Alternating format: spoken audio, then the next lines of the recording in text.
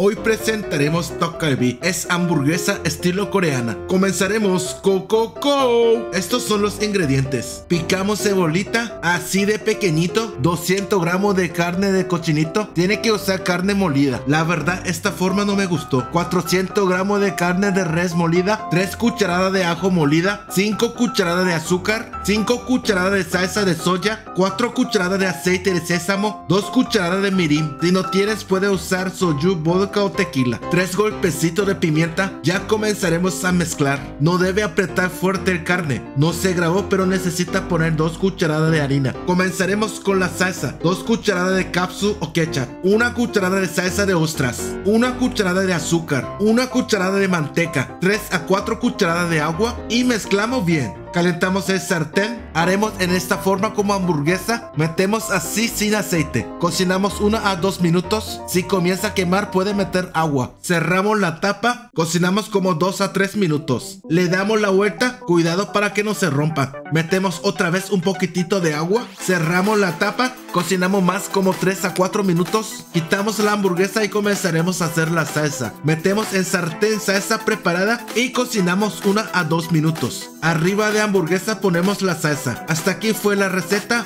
Buen provecho y bye.